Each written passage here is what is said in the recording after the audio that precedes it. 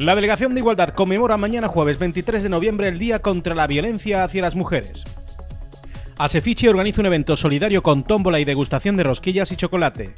Víctor Rodríguez Cebrián cierra el año muy satisfecho con su proclamación como campeón interprovincial de motocross Sevilla-Cádiz. Comienza la sexta edición de la Liga de Tenis de Chipiona con récord de participantes.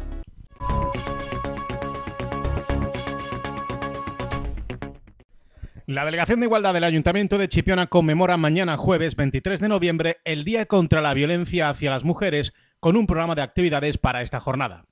Dado que el 25 de noviembre este año es sábado, los actos han sido establecidos para mañana jueves 23 y tendrán lugar en el Salón de Plenos Municipal. Para comenzar a las 11 de la mañana tendrá lugar un minuto de silencio por las mujeres fallecidas este año a causa de esta lacra. Seguidamente, la alcaldesa de la localidad, Isabel Jurado, procederá a la lectura de un manifiesto de la jornada. Y para finalizar, a las once y media de la mañana se ofrecerá el espectáculo Entre tú y yo, perteneciente al programa Cómplices en el Cariño de la Diputación Provincial de Cádiz.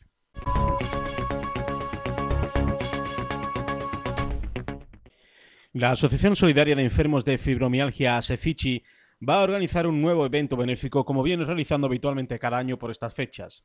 Se trata de una tómbola solidaria que irá acompañada de una degustación de rosquillas y chocolate. Tendrá como escenario los soportales del mercado de abastos.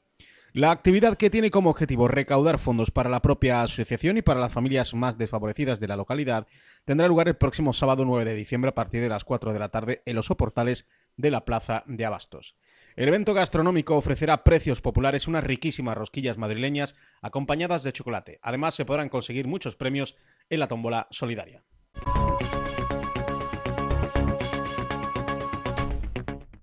El chipenero Víctor Rodríguez Cebrián, de 26 años de edad, se ha proclamado campeón de MX1 aficionados en el Campeonato Interprovincial de Motocross MX Sevilla-Cádiz, celebrado el pasado domingo en Trebujena, donde tuvo lugar la prueba final. Rodríguez Cebrián, que comenzó en el mundo de motocross en 2010, se ha mostrado muy contento con este premio, que le ha permitido conseguir un doble objetivo. Por un lado, completar todas las pruebas y por otro, proclamarse campeón, según ha afirmado en declaraciones a la Radio Televisión Municipal de Chipiona. Víctor Rodríguez Cebrián es aficionado desde pequeño y a los 16 años comenzó a entrenar en el circuito de Jerez de la Frontera. 2017 cierra con este importante premio de un año en el que Morón de la Frontera fue la prueba más dura. Tras un pequeño descanso, a partir de enero anuncia que buscará nuevos patrocinadores y comenzará a entrenar fuerte de cara al Campeonato de Andalucía. Este entrenamiento también implica mantenerse en forma, llevar unos hábitos alimenticios saludables y mucho esfuerzo físico y tiempo dedicado a entrenamientos.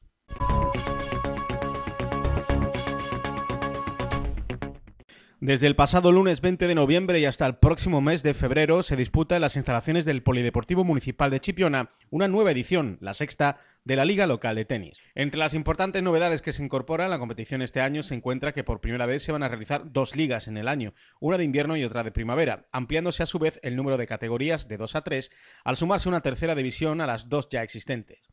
Estos cambios han provocado que se aumente el número de participantes, pasando a ser 32 inscritos, una cifra récord.